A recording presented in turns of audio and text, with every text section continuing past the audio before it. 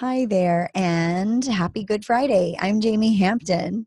And um, no matter how many times I say that, I can't really get used to Happy Good Friday because of what we're commemorating the suffering and the death of Jesus. I think each of my children at some point in their lives have come to me and asked in different ways, like, why do we call this Good Friday when Jesus died and suffered? What's good about that? And I think what I've come to realize and what I've come to tell them over the years and, and understand myself is that it's because we know the big picture. We know the end of the story now. And so we can call it good because we can see what God is doing and what God did through that suffering and through that death. That He brought about abundant life in a way that never could have happened without that death but at the same time so uh, when every good friday i come to this sort of looking in the mirror at my own life through the lens of good friday and and its context in in terms of like the whole easter story.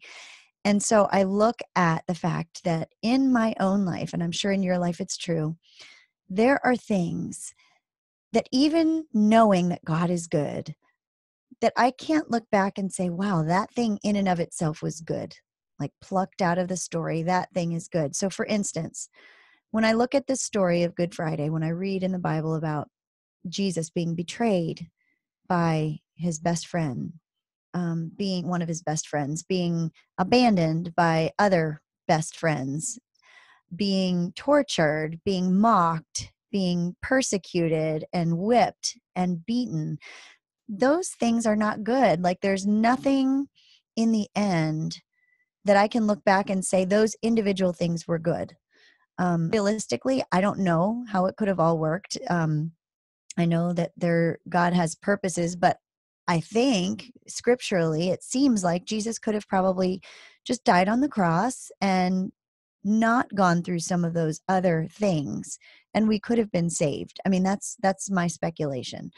Um and I think it like that and that's my human perspective, right? I'm not God and obviously god has purpose in everything and and the bible does talk about through jesus sufferings he experienced suffering as part of his humanity to be able to identify with our suffering and for us to know that we have a savior we have a high priest who is not a stranger to suffering. So that is part of god's plan. Um, but there are things in our own lives. I think of things that have happened to me, things that have happened to people I love, things that are happening even now in places that I've never been that just are terrifying to me when I think about um, just the things that are going on and just heartbreaking to know that people are suffering these kinds of things.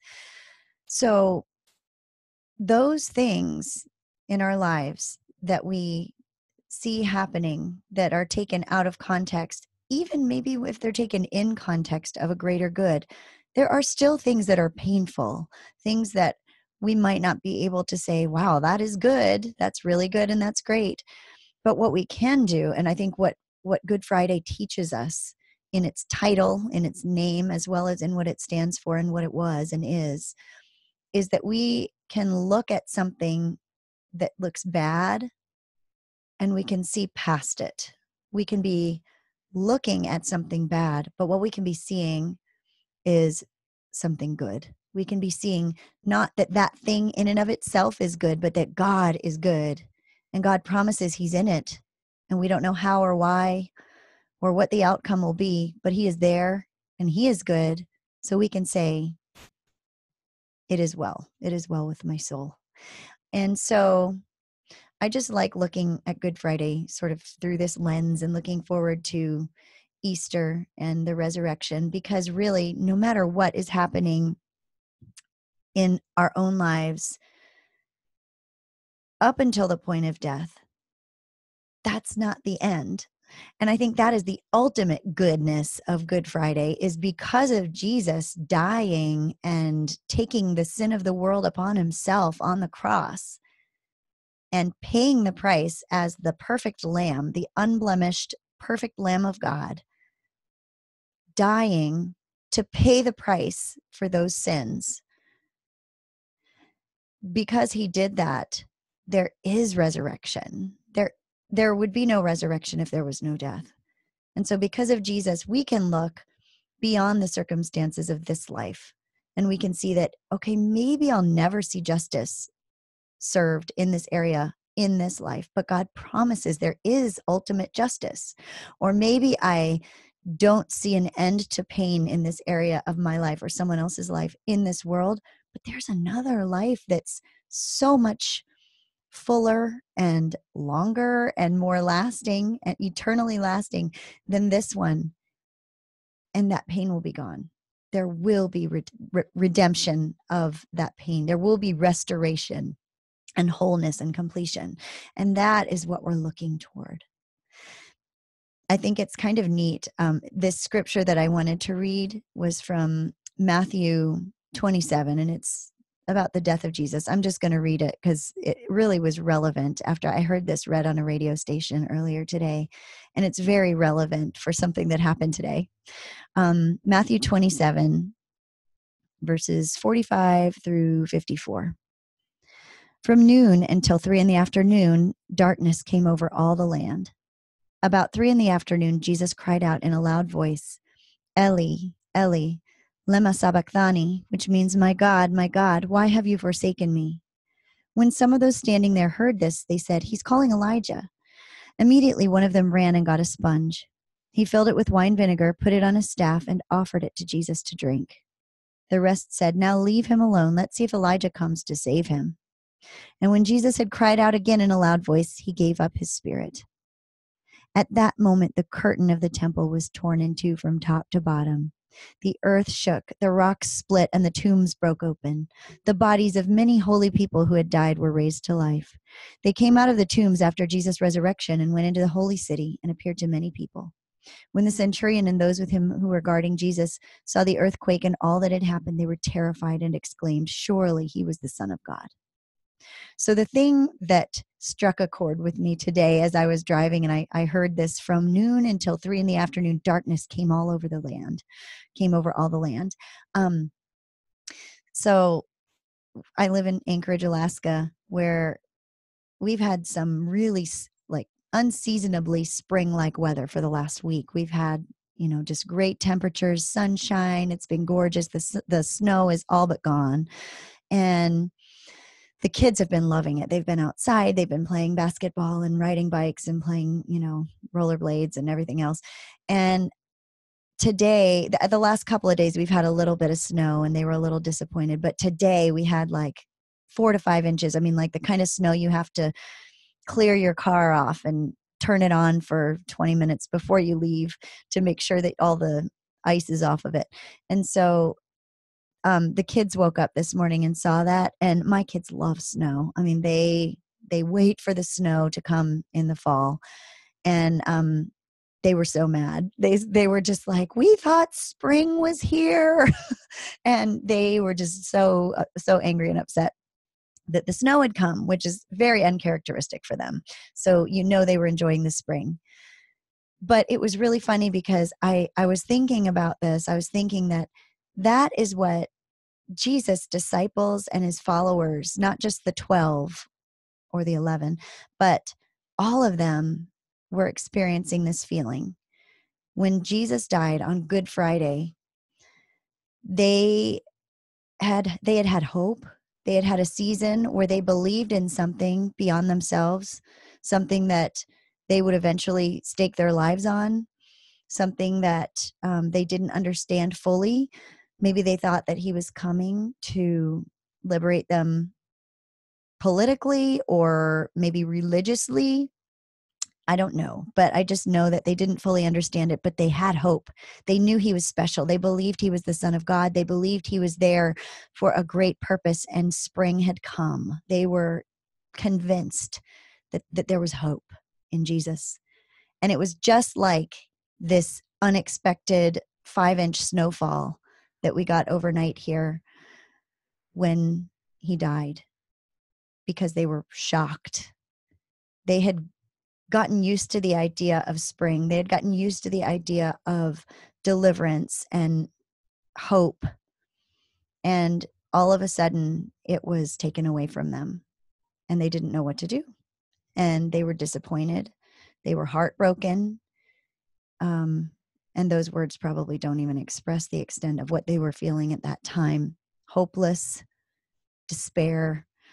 Um, and they just they didn't understand so that reminded me of what we woke up to today but then I had run a friend over to drop her off somewhere and I did a few errands and went in the store. And when I came out, all of a sudden, I mean, this morning the sky was overcast, it was dark, it was snowy. It was snowing this morning, like big, big, huge flakes of snow.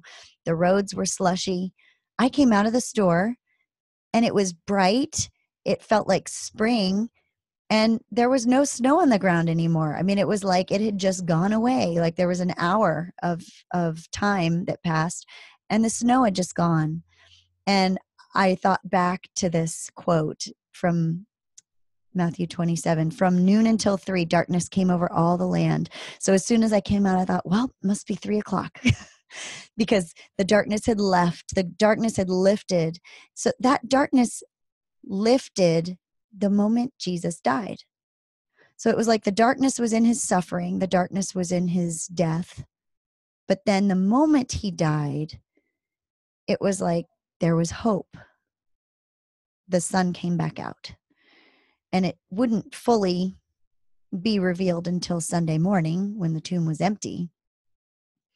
But that was the beginning of the hope. His death was the beginning of something new and that just you know the sun coming out reminded me of that a little bit like okay we had this dark time we had this snowy hiatus of spring but spring is coming and spring will soon be here. So um, another really neat thing that i got from this passage though that has always been exciting to me since i did um, i did a study through bible study fellowship about the temple and um, I guess it, actually it was a study of Matthew, I think, and it got to this part about the um, the curtain of the temple being torn in two from top to bottom, and it was so neat because they explained, and you probably already know this, but I'm going to just explain it because I love it. Um, I love all of the symbolism of this time in Scripture where there's so much harkening back to the Old Testament. There's so much looking forward at, at Christ's return and just um, all of the fulfillment of prophecy coming together at the end of Jesus' life and the beginning of the church. Um, I just I love it. So anyway, but I digress. So I'm going to get back to the the temple. Um, so the curtain of the temple was torn in two from top to bottom. So in this study that I was in through Bible Study Fellowship, we did some studying about the temple and the holy of holies. And so the curtain was the curtain that separated the inner courts, I guess, I might be getting this wrong, of the temple from the Holy of Holies. What I do know is the Holy of Holies was a place that could only be entered one time a year by the high priest and only after just tremendous ceremonial cleansing to prepare his heart for this time and to prepare his body, ceremonial washing. And I believe they even tied a cord to his ankle or foot so that if he fell dead, if he had not prepared himself properly and he fell dead before God, the presence of God in the Holy of Holies, he could be dragged out so no one had to go in there because he was the only one allowed there. And the presence of God was said to dwell there. And God was said to meet with this high priest only as he made the sacrifices for atonement for his people every year. So here's this holy of holies. No one can see it but this high priest, only once a year for this special sacrifice. And it's not a small curtain. What I would picture is kind of like when you go to vote, how there's like a little curtain that goes across. That's kind of what I always pictured was just this little curtain and this guy would go behind it and you know, you might not be able to see what he's doing. That wasn't it. I want to say I, I was doing some reading about it and they said it could have been up to 60 feet tall. Um, tradition, not necessarily in the Bible, but Jewish tradition states that the curtain may have been as thick as four inches thick. I mean, like thickness. Um, so this wasn't a small curtain. This was not your voting booth curtain or your kids' valance on their window. This is not something that your kid could take their kid scissors and snip through, or even your best sewing scissors and snip through. This was not easy to tear. And the other really symbolic thing about it being torn from top to bottom, it was so tall. It's not like someone's going to, you know, climb up there. Now, my son, I have to say, my very creative 13 year old said, Well, what if it was like in the movies sometimes where they go on a balcony with a sword and jump and like stick their sword in the curtain and it, anyway, you get the picture. I doubt that's what happened. I think the symbolism is that God Himself tore the curtain from top to bottom to symbolize that Jesus himself was now our high priest. And there was no separation between us and God. And in fact, Hebrews 10 19 and 20 says, Therefore, brothers and sisters, since we have confidence to enter the most holy place by the blood of Jesus, by a new and living way opened for us through the curtain, that is his body. Oh my, oh my goodness. I mean, that is we have confidence we can enter the most holy place by the blood of Jesus. By a new way, a living way opened for us through the curtain. That curtain symbolizes his body. His body was broken. And when his body broke, he opened the door for being right with God. And if that doesn't just get you, I don't know what will and i i love this i love this picture and this symbolism that takes us into what god did so on good friday i love to hope to sunday but i also there's part of me that wants to linger in the pain not to glorify the pain but because i just feel like it gives me a taste of what jesus really did it just gives me um, a little bit of a picture of the extent of his love. I mean, he was in, he was at the right hand of God before the creation of the world. He was the one through whom nothing was made that was made. He was there. So he was existing, pre existing with God the Father. And the Bible tells us he chose to step down. He didn't regard being with God in heaven something to, to hold on to or to cling to. He chose because he loved us. God gave his son because he loved us. God's son mm-hmm. gave himself because he loves us. And so that's an amazing picture for me. And when I see through scripture and through meditation and and just thinking about Good Friday and what Jesus went through for us, for me, it helps me to understand just how much I've been forgiven and just how much He loves me. And I think that prepares me to be so much more equipped to extend that love to others and to extend that grace to others. So, what I want to do today in light of this is not wallow in our sinfulness. I don't want to rend our garments and just wail for the sake of wailing. I don't want that. I don't think God wants that. But what He does want is repentance and and not for the sake of feeling bad but for the sake of moving forward. So what i like to picture is that i'm standing in a jail cell and the door is closed and i'm in bondage to this sinful way of living these sinful thoughts sinful words sinful actions. And when i confess when God gives me a mirror and lets me see the things that are not of Him, that are not His best for me, that are not going to result in abundant life for myself or others, I all of a sudden am enlightened to the fact that this jail cell was never locked, that I was just standing in it because maybe it's comfortable. Standing in it maybe because the enemy deceived me into thinking I had to and I had no choice.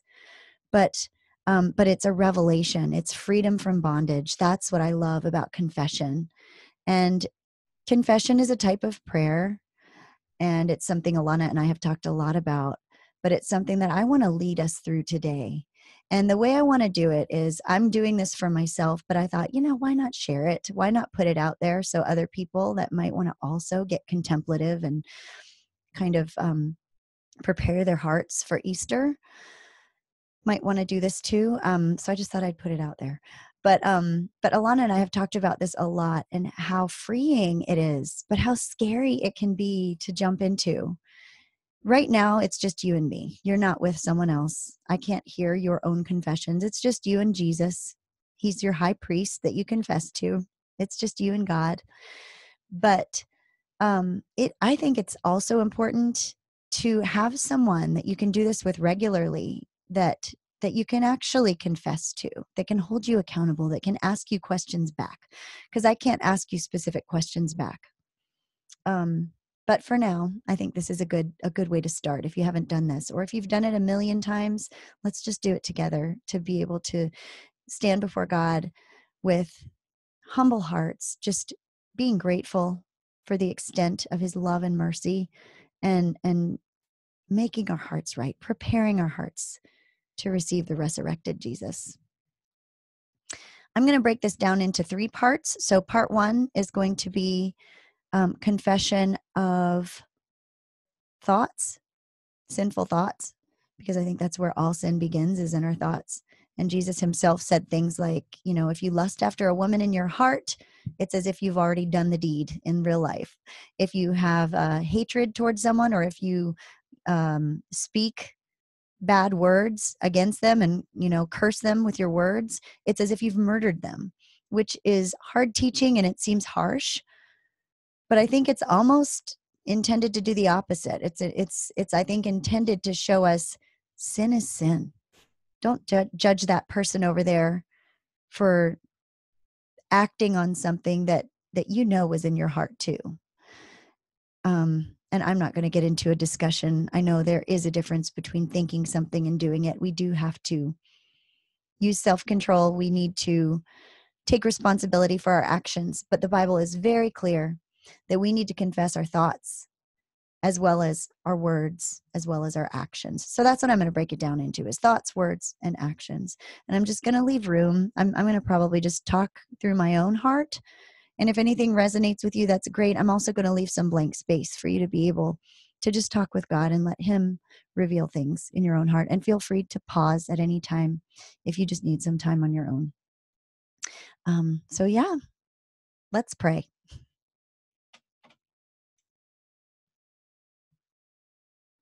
Father God, we just come before you right now with hearts that are overwhelmed by your goodness and your love and what you were willing to sacrifice for us while we were still sinners, while we were still your enemies, while we were still against you. You sacrificed your son your only son, your perfect son. And you didn't just sacrifice him to a clean death, you sacrificed him to live a painful life, a lonely life, a life of being misunderstood, a life of being questioned by religious leaders who claimed to be your people, a life that um, where he was rejected by his own brothers and sisters at times where he was called crazy where he was chased he was persecuted and where he was eventually captured betrayed by one of his own abandoned by many of his own tortured mocked and eventually died Father, thank you. Whatever it is in us that can express gratitude in a way that goes beyond thank you, help us to do that, Lord. Help us to do that right now, to express our gratitude and our undying love for you because you first loved us. Father, we know that we have thoughts that do not glorify you, that there are thoughts that go through our minds that are sin. God, I confess that I have thoughts that tear others down, where my words might be fine or where I might keep my mouth closed. I have thoughts that judge, that tear down, that ridicule, that hurt, that diminish. I have proud thoughts. Even though outwardly I can be very humble, I have proud thoughts. I feel superior to other people in ways that I would never express on the outside. And sometimes I even fool myself into thinking I'm humble. I confess those thoughts. I confess my thoughts against others. I confess judging others for things that I myself do and, and then some. I confess pride and arrogance. And I just pray for the humility that I would be able to see myself for who I am.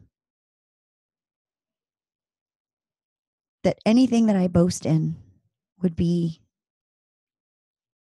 boasting in Jesus and who I am in Christ.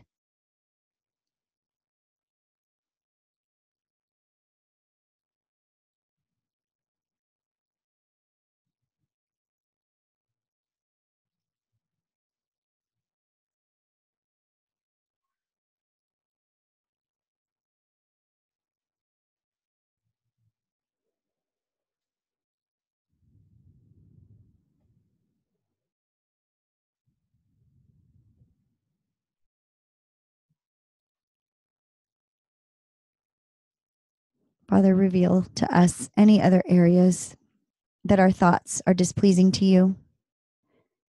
Search us, O God, and know our hearts.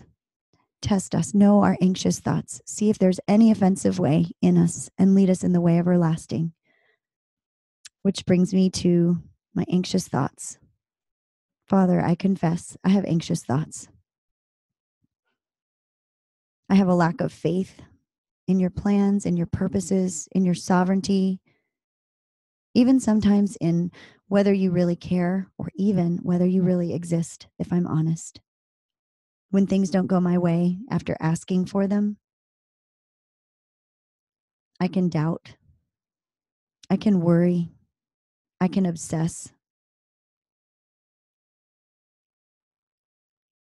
Please forgive me for my anxious thoughts for the anxiety that that is just a, a warning that I'm not trusting you with my life, with the life of my children and my family and those that I love, with the world, with the church.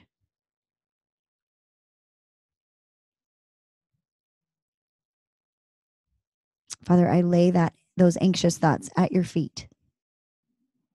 And I pray that you would replace those anxious thoughts with the peace that transcends all understanding, that would guard my heart and mind in Christ Jesus.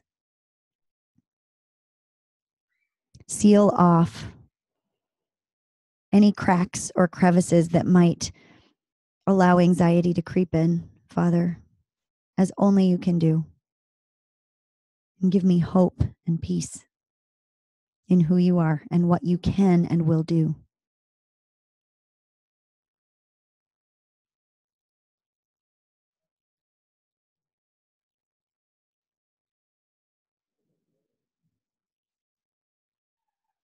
Father, we just acknowledge that there are words that come out of our mouths that are sinful, that tear down, that bring death and not life. If the tongue is a rudder, it steers us in the opposite direction from where you want us to go.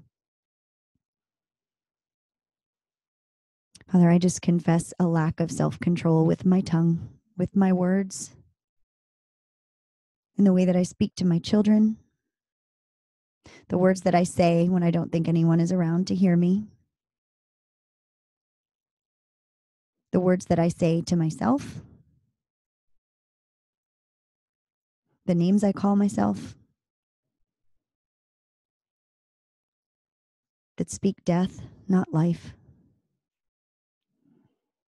Rebuking my children when they don't deserve it, or speaking them to them in a way that that isn't the way that you would want me to speak to them, yelling instead of speaking in a quiet, direct way. Getting frustrated and saying things that I shouldn't instead of having the discipline to enforce consequences for actions immediately, for being angry with myself and taking it out on others, for being angry with life circumstances and taking it out on myself and others. Father, I confess my words. I just pray that you would help me to grow, that you would help me to speak life, speak positive words over my family, over the people that I come into contact with, over myself. I just pray for the fruit of self control to be constantly growing in my life, Lord. That I would be holy and set apart I know that I cannot speak blessing out of one side of my mouth and cursing out of the other side of my mouth. Father, I just pray that you would uproot the negative and throw it into the fire, just burn it up so that I can speak your words and nothing else. We just pray that you would bring to mind any other words, any specific instances of conversations with people or patterns that need to be broken in our in our speech to each other any gossip any tearing down? Any bullying? Adult bullying that might be going on in our lives or even in our homes? Bring to mind the things that we need to know. The things that we need to confess to you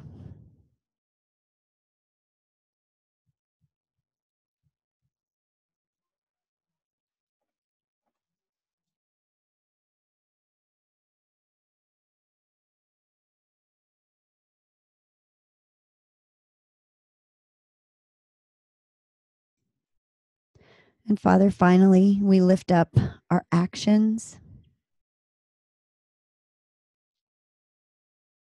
We just pray that whatever we do, that we would always filter those actions through your spirit,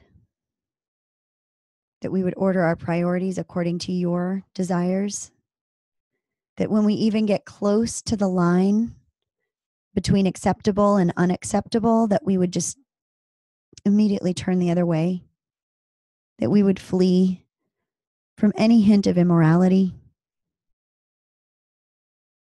I pray for our marriages. I pray for interactions with the opposite sex, that you would protect our actions, that we would remain pure in thought, word, and deed in our marriages and keeping our marriages pure. That we would always conduct ourselves with dignity and modesty and purity.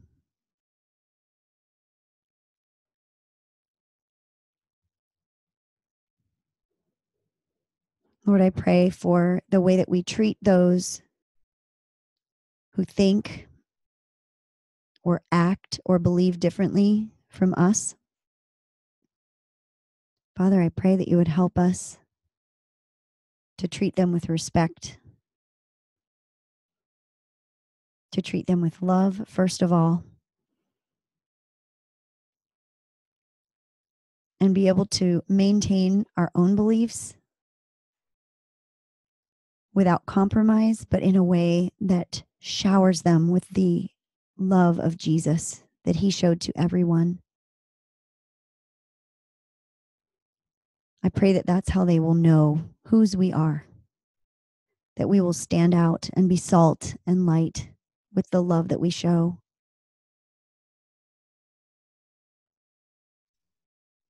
Father, I pray that you would give us eyes to see the invisible, the ones that need our actions, that need the hands and feet of Jesus, but have slipped through the cracks.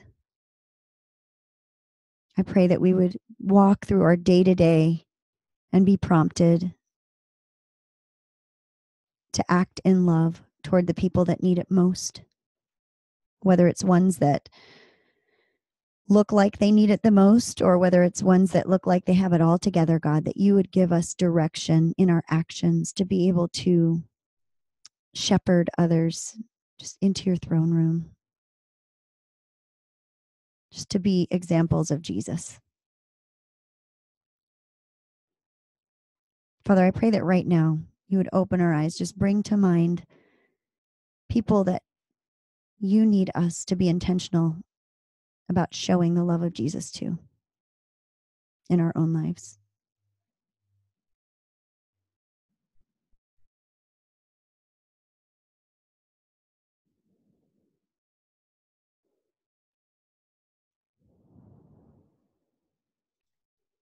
God, I just pray that you would direct our actions toward our husbands, our children, our coworkers, those we work with in the body of Christ, church members, ministry team members, that you would just allow us to interact in a way that is pleasing to you, God. We just pray that you would open our eyes to any blind spots, any places where we are deceiving ourselves into thinking that we're acting like Christ would want us to, that you just bring a check in our spirit, that you would heighten our sensitivity and allow us to just walk as Jesus would walk. God, I confess that my actions are despicable to the people that I'm closest to. I'm the most short tempered, the most um,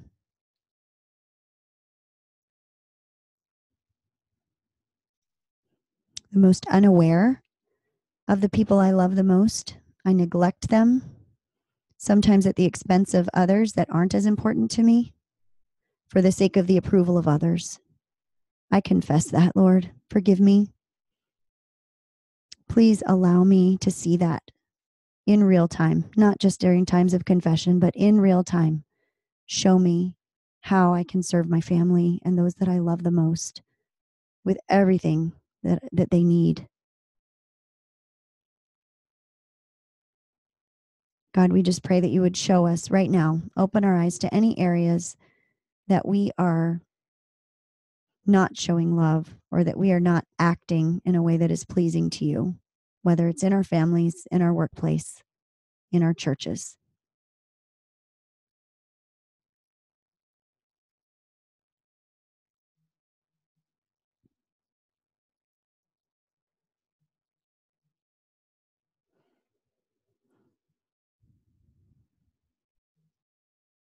God, we thank you for this time.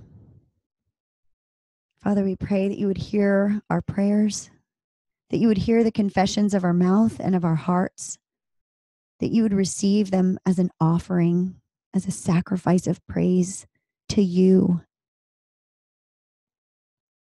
We want to burn all of the excess. We want the only thing to remain to be that kernel of self that comes from you, God, that regenerated spirit and the things that you have added unto us in our spirit by the blood of Jesus. That abundant life, that Christ like character, the fruit of the Spirit. Those are the things we want to remain. And we offer all of the other. We just lay it at your feet, God. We place it on the altar. And we just pray that you would accept that as our humble offering of praise to you for who you are and what you have done on this day, the sacrifice that was made for us. And we just pray, God, that, that we would enter into these next couple of days before Easter with clean hearts, with hearts that are ready to meet with Jesus, that are ready to receive that incredible gift. In Jesus' name, amen.